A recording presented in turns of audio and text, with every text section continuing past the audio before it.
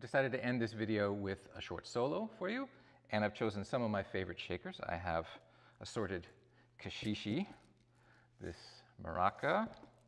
I love these wooden, these wooden shakers were made in India. The venerable egg shaker, my nutshell and goat part uh, shakers, and the bean.